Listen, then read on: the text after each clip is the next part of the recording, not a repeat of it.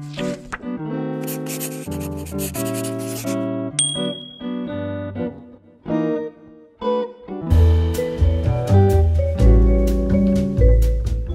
everyone, welcome back to another video. Today I'm super excited because we're finally doing my 2024 bullet journal setup. This is one of my most anticipated videos that I do every year. For myself, I just really enjoy setting up my new bullet journal. As per usual, I'm using an Archer and Olive bullet journal with 192 dotted pages.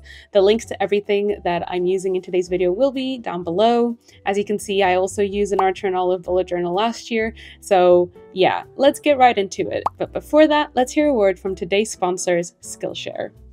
Today's video is sponsored by Skillshare. Skillshare is an online learning community with thousands of online classes ready to take you to the next step in your creative journey.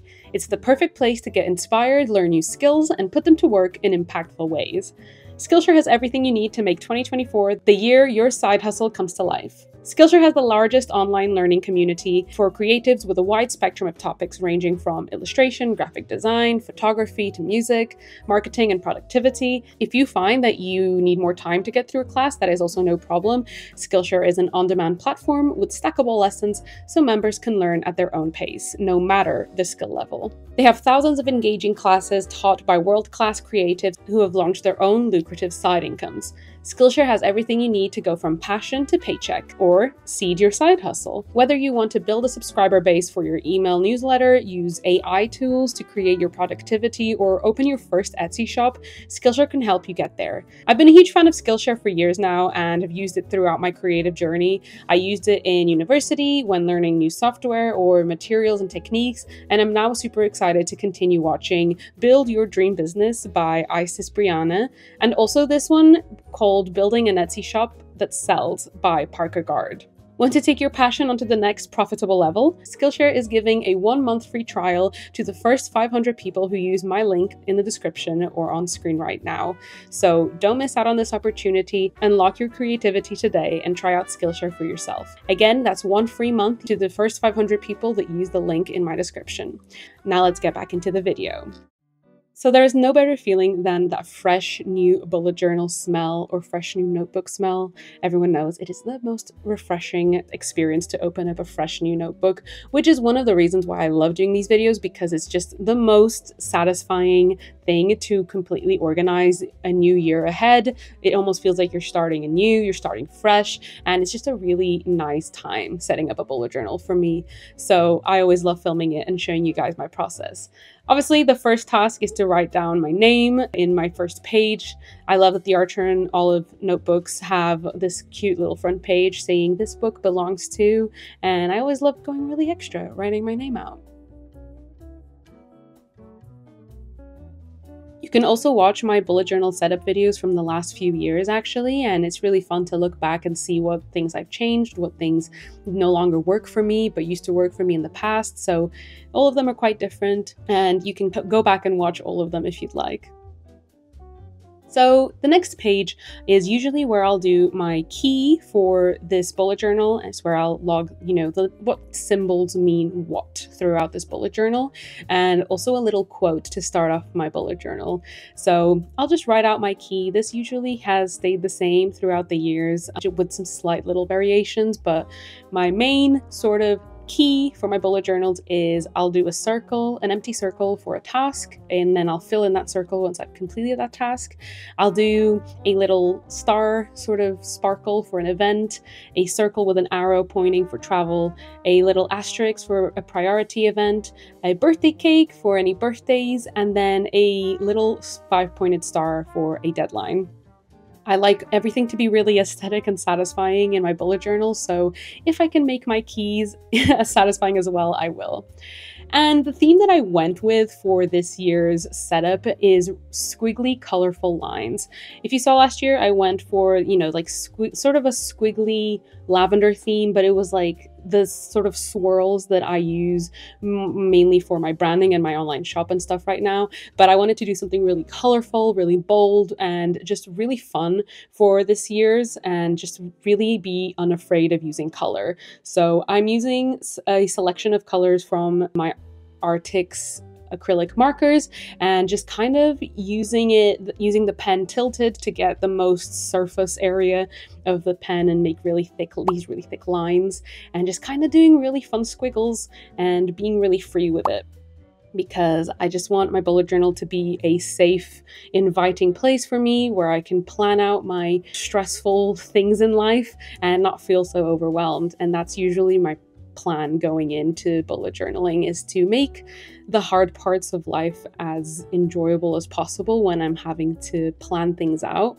Obviously bullet journaling is different for everyone and it is made to be different for everyone.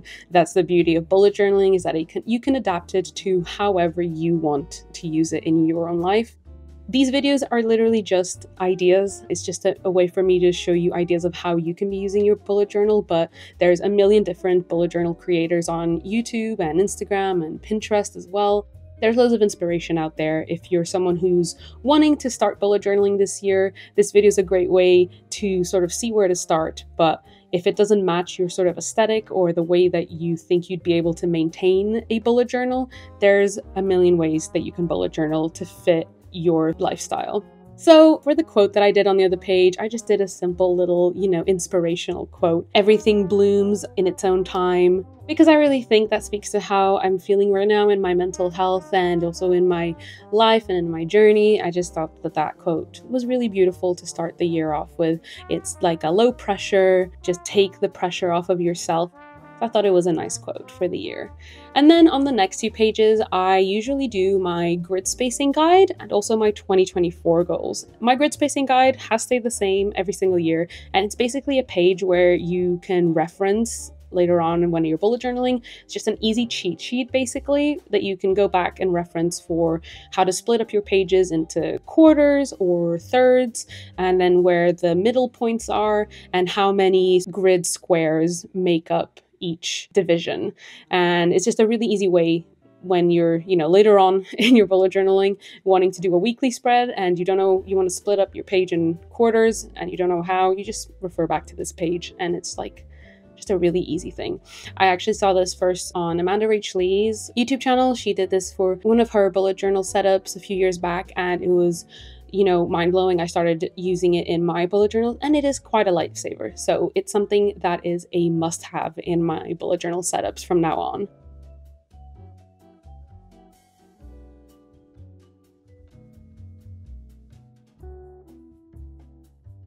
And then on the page next to it, I decided to do my 2024 goals. I call them goals, but it's mostly just reminders and, you know, things that I want to try and experiment with or try out this year. I've tried to put less pressure on, you know, New Year's resolutions and New Year's goals because I feel like it only welcomes disappointment at the end of the year. You know, it, it, invi- it invites disappointment if you even miss one of your goals or one of your resolutions. So I decided to call them goals, but they're mostly suggestions and things for me to aim for this year. But if I don't, that's also fine. As you can tell, my mood for 2024 is to take it easy on myself and be really kind with myself and, you know, trying to be really laid back a little bit because this the second half of 2023 was really, really hard on me, especially mentally. So, we're going into 2024 with a really positive mindset, a really self caring mindset, and being as nice to ourselves as possible while trying to, you know, still run your own business, your, your own small business, and, you know, working your butts off like I always do. So, we're trying to reach a nice, healthy middle of the two.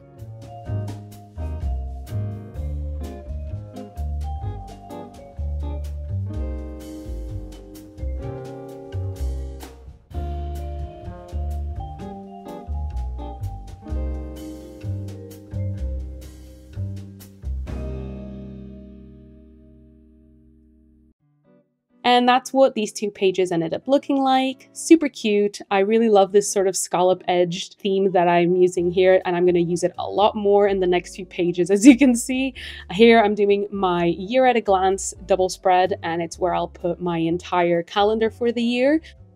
Speaking of calendars, I actually made a calendar and you can purchase that in January when my shop reopens. So make sure to keep an eye out for that because my shop is currently closed, but my shop's opening back up and I still have a lot of calendars left on there. So you'll be able to buy a 2024 calendar made by me. So yeah, here I've just got all the months laid out and I like to do them in sort of a rainbow order. It just makes it look super aesthetic to look at, super satisfying, and it just, you know, makes it really fun to look at the year and makes it a lot less daunting to look at the next 12 months.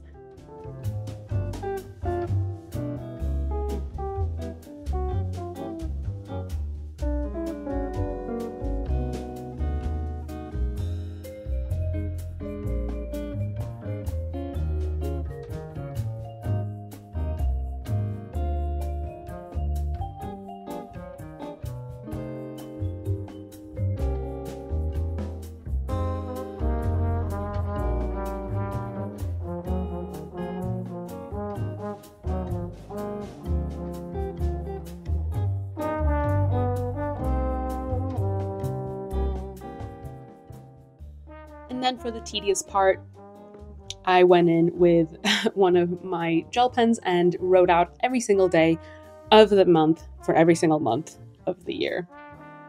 And I spared you the boring details of watching me write out numbers for an eternity and just cut it to when it was already done. but yeah, this part is takes a while. It's very meditative weirdly, but it does take a while, especially if you're handwriting it all by yourself like me. And then I just used the same color I used for my little scallop border here to just separate the middle line of the pages, just to separate the top six months from the bottom six months. And then I use a dark purple pen to obviously add in some sparkles. Guys, are we surprised that I'm using sparkles in every single spread? Come on. it's almost like you don't know me. Obviously, there's going to be sparkles everywhere. It is my favorite thing to add to anything drawing, bullet journaling, whatever. There's going to be sparkles. so I just added some sparkles here and there, and it was basically it for my year at a glance.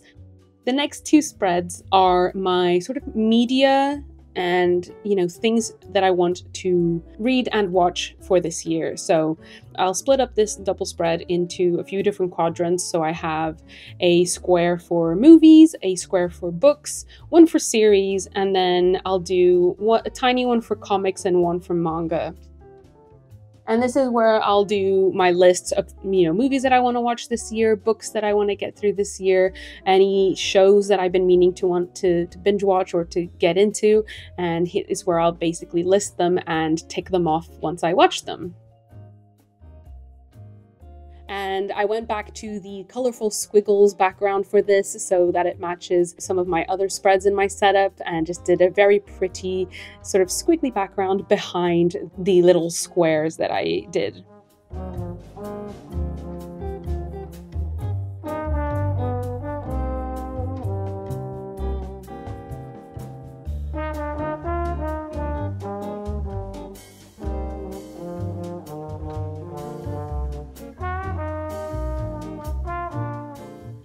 And then I actually went in and double bordered all of these squares just to add that extra little detail to them.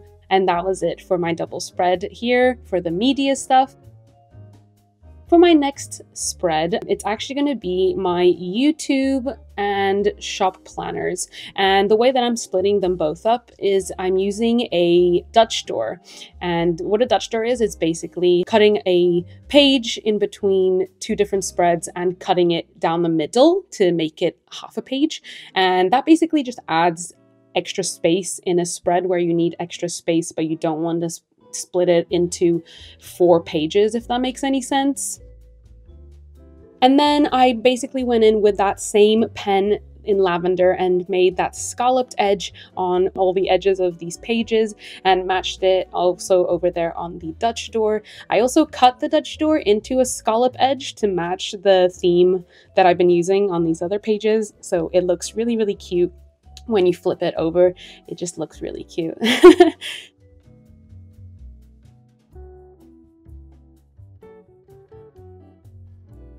So on this side of the spread, I am using it as my YouTube planner, and this is usually where, where I'll write any like YouTube ideas and video ideas that I still haven't gotten around to making, and any YouTube series, and I basically all the stuff that you'll end up seeing on my YouTube, I plan it here. and I divided the page down the middle using some little dots as well, just so I could have two columns. And then on the Dutch door, I wrote out tutorials and series into two different quadrants on this, on the right hand side and use the left hand side as you see later as my list for my series my classical painting series that I do here on the channel. And that's where I have my list of paintings that I want to get to that I still haven't. Because I get a lot of requests and recommendations for that series and this is where I'll write them all down basically. You can see me writing the title for that now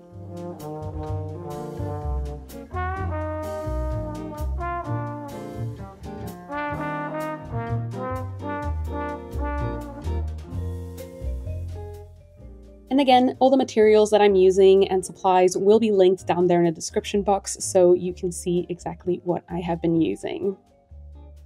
And over here on the right hand side of our Dutch door is my uh, oh sorry, is my Patreon planner. I said it was going to be my shop planner, but it's actually not it's my Patreon planner.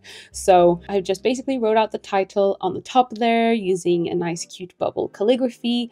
And then I'm going to again split the page up into different quadrants and squares where I'll be able to plan out different video ideas, tutorials, promotions, and just extra miscellaneous content for my Patreon in 2024 because I've decided that next year I'm actually removing the Melon Mail tier, or at least the Melon Mail uh, benefit from my Patreon, where people used to get exclusive prints and stickers.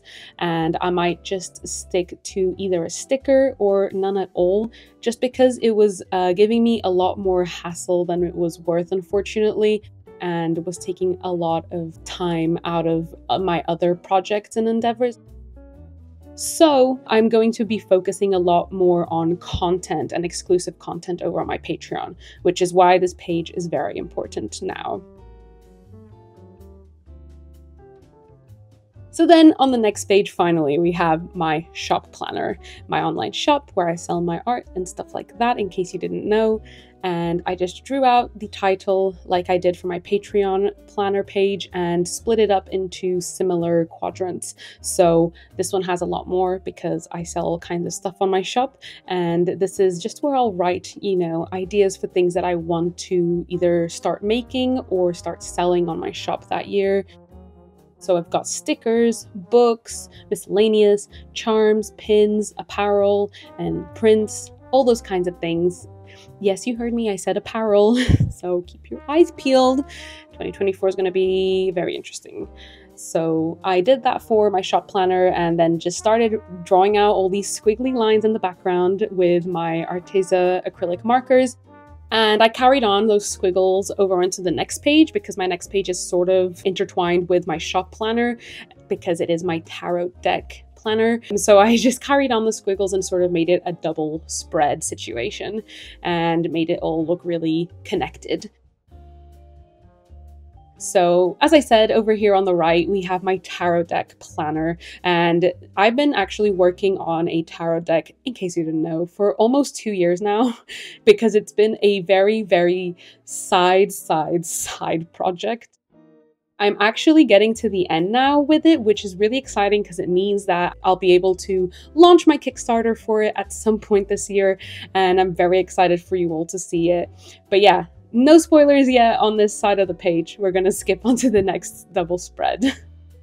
And the next double spread is something new that I haven't actually done in any of my other setups. So I'm, as you can see here, I'm cutting out another Dutch door because I'm doing a double spread with a Dutch door of all of my habits trackers for the entire year in one spot. So, if you've been watching my bullet journal videos for the past few years, you will have noticed that for every monthly spread, I will add a page where I'll do my monthly habits trackers for that month every single month. But I actually wanted to have a place where I could have my habits trackers all in one place and then just fill out my habits for every month, again, all in one spot and it'll save me a lot of time every month as well because it's one less thing I need to write out is all like the little trackers for every habit every month. So I basically created this chart and so every column is a different month. So that's why it's uneven at the bottom because every month has a different number of days. And then every one of these charts is a different habit that I'm tracking. And each habit will have different colors. Some of the habits will have even different gradients of colors depending on which which habit I actually did that day for the month. So, for example, my workout habit tracker, uh, there's different kinds of workouts that I would like to track for that so a different color will mean a workout, yoga, walking, or just some stretching, and the same for some of the other ones. And as you can see here, I managed to fit six habits trackers on a double spread with a Dutch door. And I'm very excited to see how this works for me, if it's more easy, if it's, you know, a lot more confusing and I forget to use it. So we'll see. But I'm very excited to have all of my habits in one spot. So for the next double spread, we have the final two setups for the year. So we have my bills and subscriptions and my monthly gratitude log. So my bills and subscriptions is kind of exactly what it says on the tin. It's basically where I track all of my monthly and yearly bills and subscriptions. So I separate them by month and then by year so that then when I do my expenses at the end of the year, I know exactly how much I spent monthly, how much I spent yearly on, you know, work expenses and personal bills as well. And then I basically have a a, a, base number that I can put into my expenses trackers on every monthly spread. I have an exact number that I can just put down for my bills and subscriptions, and I don't have to write all of them out. It just makes life a lot easier and it makes me feel really organized with my money because I can see exactly how much money is going to come out of my account every single month and then every single year. So, of course, I then drew out my little table over there on the right so 12 rows for one, one for each month of the year. And that's going to be my monthly gratitude. I like to do you know, I try to practice gratitude very regularly, anyways, but I like to do it monthly and try to make up 12 different things that I was grateful for every single month of the year. So I try to not repeat them every month. And it's just really fun to see what things I was the most grateful for every single month along the year and see how they differ. It's a very good exercise to implement for your mental health, I think. And if you're someone that struggles to uh, do it regularly, this is a really great way to start it by just doing it once a month and then you can kind of implement it more regularly.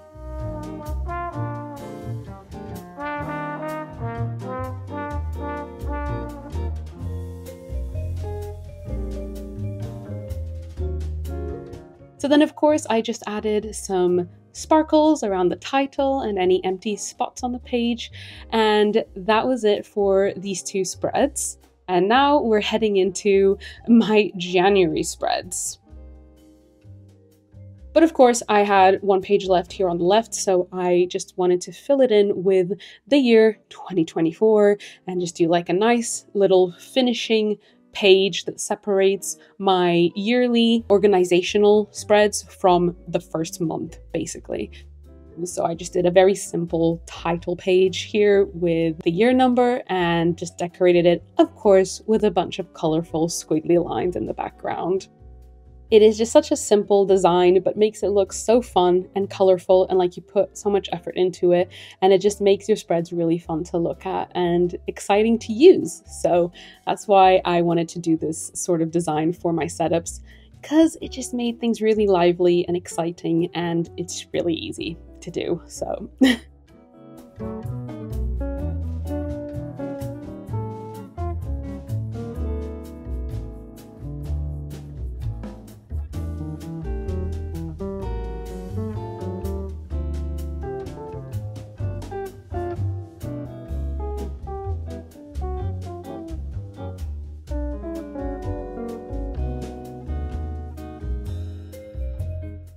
So once that was done, we're now getting into my January monthly setup, which I like to include in my 2024 bullet journal setups, because then you can see sort of how I'm going to go in and do my monthly setups from here on out.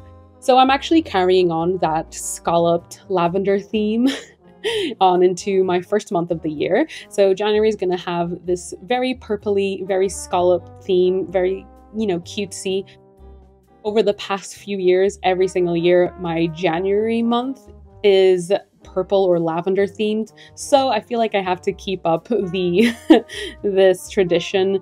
I love lavender. It is probably one of my favorite colors if you didn't know. And obviously I like to start off the year strong with my favorite color. So that's why. So I just drew out the name of the month, January, added, you know, some little adornments to it, like a gradient and a little drop shadow, and also added the calendar, very tiny there underneath it, just to fill up that part of the page. And then, of course, added a bunch of sparkles with this dark purple pen as well as just a bigger sparkle down there at the bottom because I realized that there was a big empty space down there. So I just filled it in with like a big ass sparkle.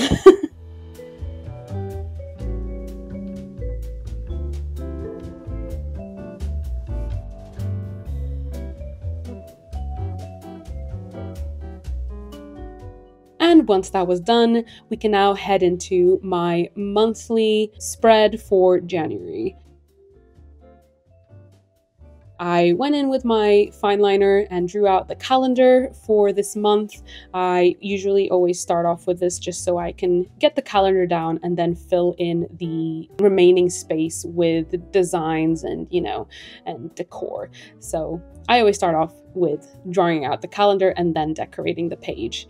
As you can see, I'm doing this scalloped sort of border around the entire double page. Look makes it look so adorable, so so cute. Really gives me like a Sanrio vibe as well, which I love. So it is making my heart sing. And then I went in and wrote out January again in the same sort of bubble calligraphy font, like on our title page. And again, added a little bit of gradient just with like cross hatching just at the bottom there and made it all look really fancy and cute and adorable. Almost like a tea party. It gives me tea party vibes. That's the vibe I'm getting from this theme. And then I used one of my purple sort of pinkish highlighters from Stabilo to just do a little background here where I wrote out the days of the week on top of the calendar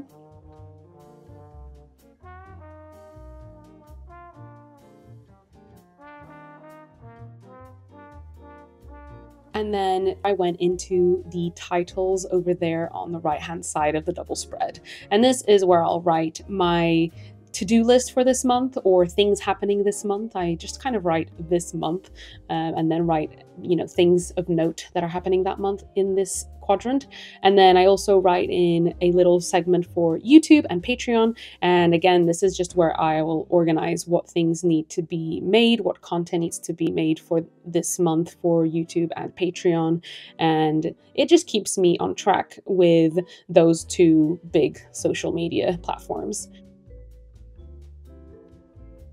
then I went in and wrote out all the days of the month on the calendar. Again, very tedious work, but interestingly meditative. And then, of course, I just added a little circle with the same lavender pen I used earlier for, you know, just to make the numbers of the calendar pop out a little bit. Next up, we have my trackers for the month. And since we're not doing habits trackers anymore every month, as you saw, I'm now putting in my mood tracker on this page instead of on my monthly spread page. Usually I will have put like found a little spot on my monthly spread to put in my mood tracker, but now I don't have to like sort of shove it into that page. I can just give it its own spot here and it's next to all my other trackers as well. So it all works out lovely. So I did a little square over there on the left, wrote out all the days of the month down in a column, and then it's going to be sort of like a bar graph over the month where each day I'll just sort of put on the graph where how I was feeling that month. And then next to it, I did another chart over here, and this is going to be my personal expenses. So, expenses in my personal life, and where I will log, you know, my bills and subscriptions and things that I spend on myself.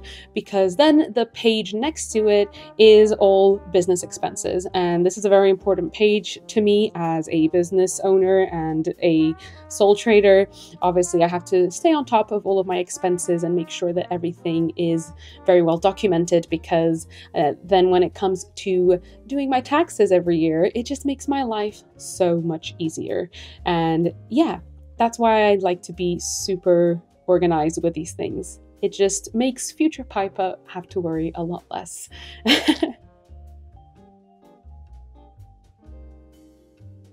So I wrote out the title and then drew out all of these little squares where I'm going to basically write out different expenses. So I'll usually have a square for my revenue, my income coming in, and then I have one for printing, one for shipping costs and any money that I use on shipping, and then one for packaging, money that I spend on packaging, and then just one for general work expenses. So this way I can sort of as well differentiate my work expenses and my business expenses into different categories and see where I'm spending the most, where I'm spending less, and it just helps me sort of categorize it as well every month.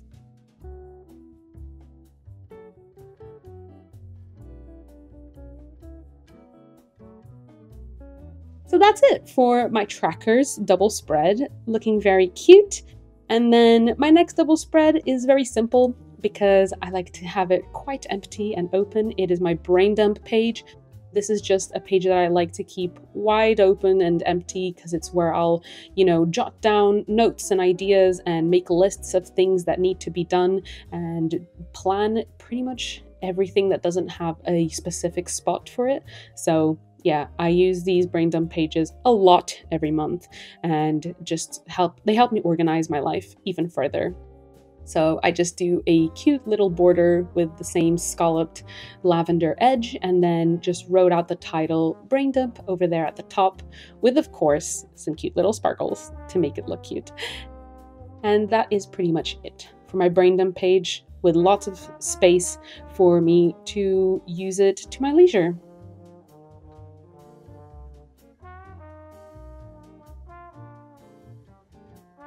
And finally, with that double spread done, we can head on to the last spread of this video. It's been a long one, I know you guys, but thank you for sticking around if you have. This is my first weekly spread of the year of 2024. So I, of course, kept it in with a theme, did a little scalloped edge, and did a double spread just to kind of show you guys how I usually do my double spreads for my weeklies. Sometimes, if I know I'm gonna have like a very chill week, I'll do it on a single page, but most weeks I'll try to use a double page because then I, I know I have lots of room to write out, you know, my tasks, my events, and things like that.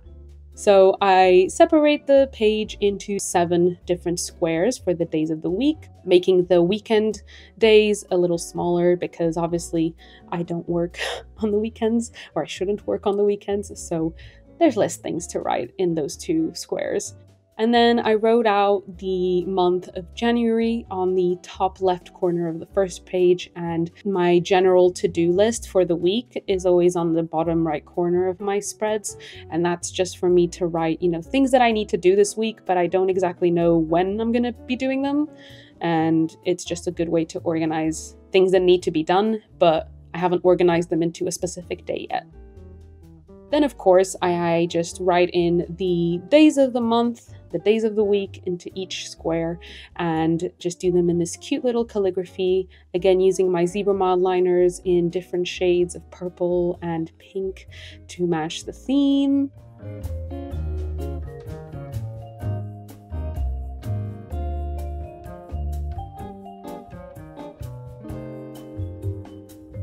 And then I like to draw a little line just on the top third of each square so that I can separate my events from my tasks.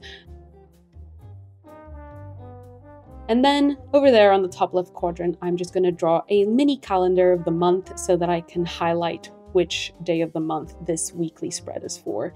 And that was it for my entire bullet journal setup for 2024, you guys. Here is my flip through of all the spreads we did in this video. We did quite a lot of spreads. I hope you took some inspiration and hopefully I even inspired you to try your hand at bullet journaling this year. Honestly, I started bullet journaling about six or seven years ago, and it has completely changed my life. I am super, super organized. It really reduces my day to day anxiety, and it makes running a business and being self employed just so much easier. So, if you're thinking of starting a bullet journal, let me know down there in the comments. And if you're going to use any of the spreads that I did in this video for your first bullet journal, Again, all the supplies that I used and even the exact bullet journal that I have are going to be in the description box below so you can have a look for yourself. And yeah, I really hope that you enjoyed this video. Let me know which spread was your favorite, if there's one in particular that really caught your eye. I hope everyone has an incredible year in 2024. I really hope you take care of yourselves above everything and be really kind to yourselves because, above all, you can't pour out of an empty cup. So that's the energy I'm taking into 2024, and I hope you do too. Thank you so, so much for watching. Thank you again to Skillshare for sponsoring today's video, and thank you for all the love that you gave me this year. I really, really appreciate it. Have a lovely rest of 2023, and I'll see you guys in my next video. Bye bye!